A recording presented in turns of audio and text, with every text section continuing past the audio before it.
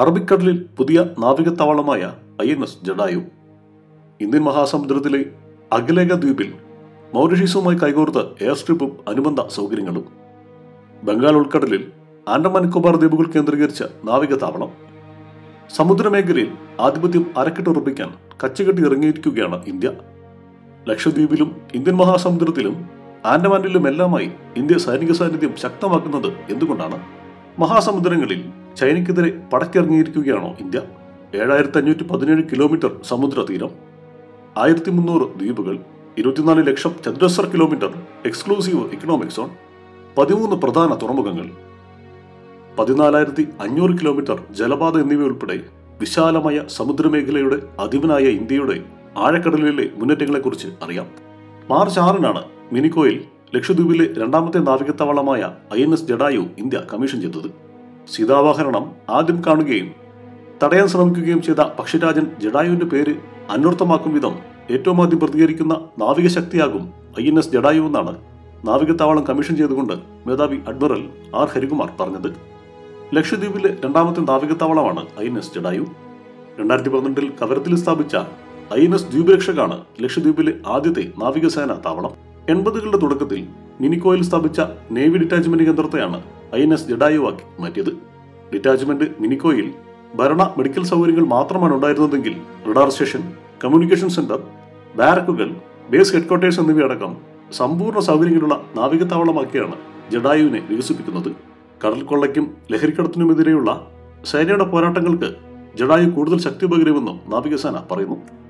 March ആറിന് തന്നെ കൊച്ചിയിലെ ഐ എൻ എസ് ഗരുഡിൽ നാവികസേന കമ്മീഷൻ ചെയ്ത മുങ്ങിക്കപ്പൽ ഭേദ ഹെലികോപ്റ്ററായ M H sixty Romeo P eighty one സമുദ്ര നിരീക്ഷണ വിമാനങ്ങൾ മിഗ് ട്വന്റി നയൻ യുദ്ധവിമാനങ്ങൾ എന്നിവ ഇന്ത്യൻ സമുദ്രമേഖലയെ കാത്ത് ജഡായുവിൽ സജ്ജമാകും യു എസിൽ നിന്ന് വാങ്ങാൻ ഇന്ത്യ ഓർഡർ നൽകിയ ഇരുപത്തിനാല് M H sixty Romeo multirole ഹെലികോപ്റ്ററുകളിൽ എത്തിയ ആറെണ്ണം ഇപ്പോൾ ഐ എൻ എസ് വിക്രാന്തിലാണ്. ഈ കോപ്റ്ററുകളുടെ രണ്ടാമത്തെ പ്രവർത്തന കേന്ദ്രമാകും ജഡായു. ജഡായുവിന് പുറമെ മിനിക്കോയിൽ സൈനിക സിവിലിയൻ ആവശ്യങ്ങൾക്ക് ഉപയോഗിക്കാവുന്ന വിമാനത്താവളത്തിന്റെ നിർമ്മാണം അവസാന ഘട്ടത്തിലാണ്. കവരത്തിൽ ഇരുപത്തിനാല് മണിക്കൂറും പ്രവർത്തന സജ്ജമായ ഹെലികോപ്റ്റർ ഹാംഗർ നിർമ്മിക്കാനും കേന്ദ്രം അനുമതി നൽകി കഴിഞ്ഞു. ആയിരത്തി തൊള്ളായിരത്തി നാൽപ്പത്തി ഏഴിൽ ഇന്ത്യ സ്വതന്ത്രമായ കാലം മുസ്ലിം ഭൂരിപക്ഷ പ്രദേശങ്ങൾ അടിസ്ഥാനമാക്കി വിഭജിക്കപ്പെട്ട പാകിസ്ഥാൻ പടിഞ്ഞാറും കിഴക്കുമായി ചിതറിക്കിടക്കുന്നു ഇതിനിടെ ദക്ഷിണേന്ത്യക്ക് തൊട്ടടുത്തായി ജനസംഖ്യയുടെ തൊണ്ണൂറ്റിമൂന്ന് ശതമാനം മുസ്ലിങ്ങളുള്ള ദ്വീപ് സമൂഹങ്ങളിൽ പാകിസ്ഥാന്റെ കണ്ണ് പതിഞ്ഞു. ഇന്ത്യയുടെ പടിഞ്ഞാറ് മാലിൽ കോർത്ത മുത്തുപോലെ കിടക്കുന്ന ലക്ഷദ്വീപ് ലക്ഷദ്വീപ് ലക്ഷ്യമിട്ട് കറാച്ചിയിൽ നിന്ന് പാക്കപ്പൽ പുറപ്പെട്ടു. വിവരം ഇന്ത്യയുടെ പ്രഥമ ആഭ്യന്തരമന്ത്രി സർദാർ വല്ലഭായ് പട്ടേലിന്റെ കാതിലുമെത്തി. കേരളത്തിൽ നിന്ന് വെറും നാനൂറ് കിലോമീറ്റർ മാത്രം അകലെയുള്ള ലക്ഷദ്വീപിന്റെ തന്ത്രപ്രാധാന്യം തിരിച്ചറിഞ്ഞ പട്ടേൽ ദ്വീപ് വിട്ടു നൽകാൻ ഒരുക്കമായിരുന്നില്ല.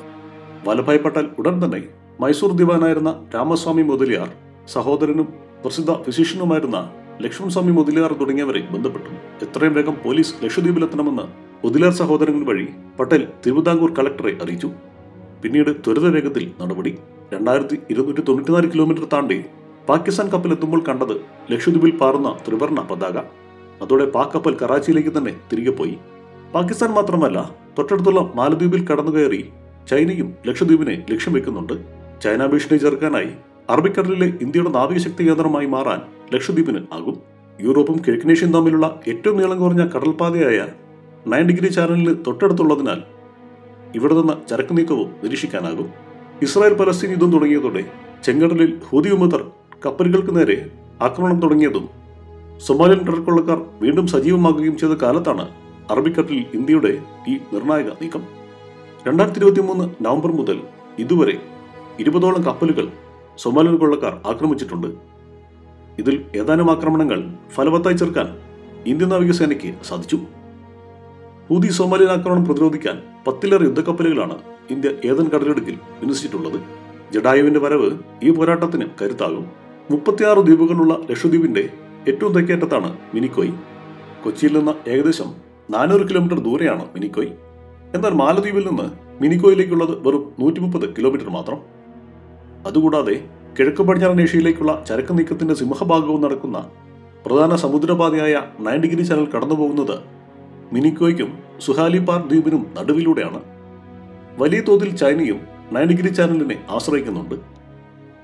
മാലദ്വീപിലൂടെ അറബിക്കടലിൽ സാന്നിധ്യം വർദ്ധിപ്പിക്കാൻ ശ്രമിക്കുന്ന ചൈനയെ പ്രതിരോധിക്കാൻ ആകുമെന്നതാണ് മിനിക്കോയിൽ ശ്രദ്ധ കേന്ദ്രീകരിക്കാനുള്ള രണ്ടാമത്തെ ഘടകം.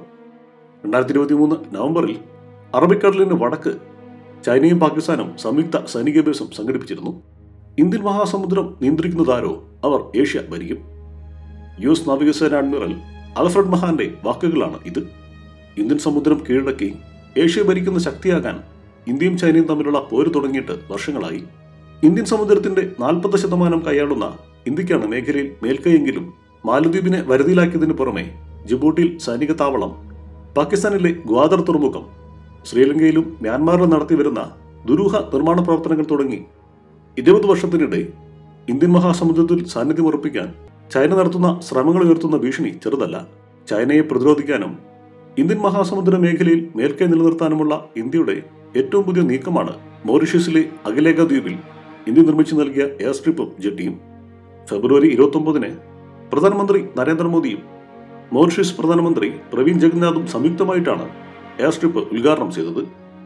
മോറിഷ്യസ് തലസ്ഥാനമായ പോർട്ട് ലൂയിസിൽ നിന്ന് ആയിരത്തി ഒരുന്നൂറ് കിലോമീറ്റർ വടക്കുള്ള അഖിലേഖയിൽ ഇന്ത്യയുടെ സമുദ്ര നിരീക്ഷണ വിമാനമായ പി എയ്റ്റ് വണ്ണിന് പ്രവർത്തിക്കാൻ കഴിയും വിധമാണ് മൂന്ന് കിലോമീറ്ററുള്ള എയർ സ്ട്രിപ്പിന്റെ നിർമ്മാണം.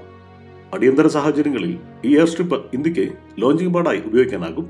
ഇവിടെ നിന്ന് ഇന്ത്യൻ മഹാസമുദ്രത്തിന്റെ പടിഞ്ഞാറ് കിഴക്ക് ഭാഗങ്ങളിലും ആഫ്രിക്കയുടെ തെക്ക് കിഴക്ക് തീരങ്ങളിലും നാവികസേനയുടെ നിരീക്ഷണ വലയത്തിനുള്ളിലാകും മഡഗാസ്കറിനും കിഴക്കൻ ആഫ്രിക്കയ്ക്കും മധ്യേയുള്ള പ്രധാന കപ്പൽപാതയായ മൊസാംബിക് ചാനലിന് അടുത്താണെന്നതും അഖിലേഖയുടെ പ്രാധാന്യം വർദ്ധിപ്പിക്കുന്നു. ആഗോള ടാങ്കർ ചരക്ക് നീക്കത്തിന്റെ മുപ്പത് ശതമാനവും കടന്നുപോകുന്നത് മൊസാംബിക് ചാനലിലൂടെയാണ്.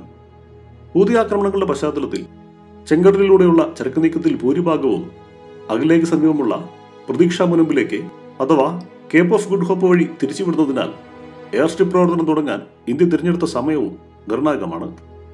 ബംഗാൾ ഉൾക്കടലിൽ ആൻഡമാൻ നിക്കോബാർ ദ്വീപുകൾ കേന്ദ്രീകരിച്ചാണ് ഇന്ത്യയുടെ നാവിക മുന്നേറ്റം.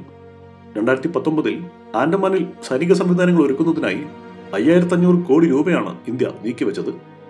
ഷിപ്പൂരിലെ I N S Kohassa Campbell ബേയിലെ I N S Baaz എന്നിവയാണ് ആൻഡമാനിലെ നാവിക കേന്ദ്രങ്ങൾ. പി ഐ ടി വൺ നിരീക്ഷണ വിമാനങ്ങൾക്ക് പറന്നിറങ്ങാനാകുന്ന തരത്തിൽ രണ്ടിടങ്ങളിലെയും റൺവേകൾ അടുത്തിടെ നീളം കൂട്ടി നവീകരിച്ചിട്ടുണ്ട്.